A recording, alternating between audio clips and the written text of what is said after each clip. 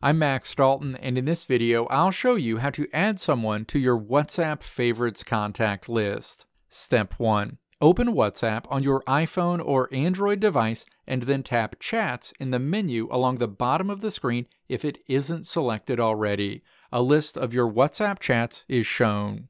Step 2. Hold a finger against any one of the chats in this list and then pull down slowly. A row of options will be revealed directly beneath the search bar at the top of the screen. Step 3. Tap Favorites in this row. The Add to Favorites screen is displayed. Step 4. Tap Add to Favorites. A list of your WhatsApp contacts is shown.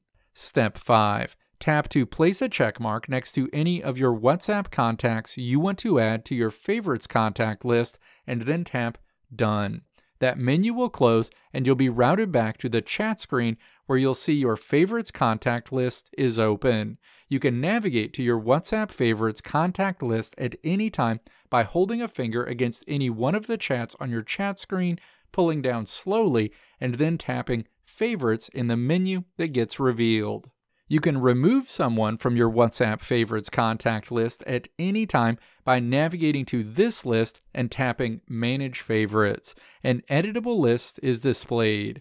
Tap the Remove icon next to any contacts you want to remove from this list and then tap Delete.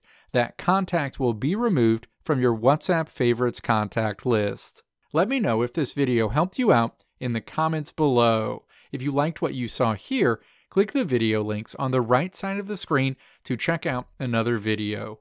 Or click the logo on the left side of the screen to check out my tutorial website at www.maxdalton.how.